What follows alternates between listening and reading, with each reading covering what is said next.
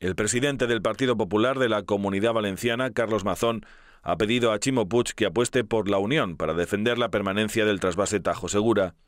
Esta petición surge tras conocer que la Comisión de Medio Ambiente del Scots ha rechazado una propuesta del PP que instaba unir esfuerzos con los regantes y la Diputación de Alicante y conseguir una mayor garantía de éxito en el recurso contra el recorte del trasvase Tajo Segura.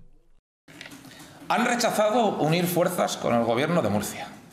Han rechazado unir fuerzas con los regantes. Han rechazado públicamente unir fuerzas con la Diputación alegando falta de competencias, lo cual eh, no tiene ningún sentido.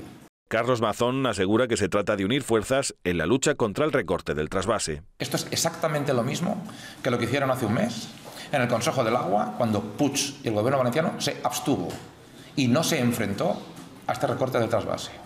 Yo quiero volver a decir públicamente, como presidente del Partido Popular, pero también como presidente de la Diputación, que estamos en tiempo procesal oportuno, que estamos a tiempo. Le vuelvo a abrir los brazos a Puig. Le vuelvo a ofrecer todos los informes de la Diputación, la Mesa del Agua Provincial, nuestros recursos y nuestro trabajo jurídico que está bien hecho, que puede ayudar, que puede sumar. Vuelvo a ofrecerle públicamente a Chimo Puig que unamos fuerzas. Mazón pide defender el trasvase juntos y afirma que aún hay tiempo para hacerlo.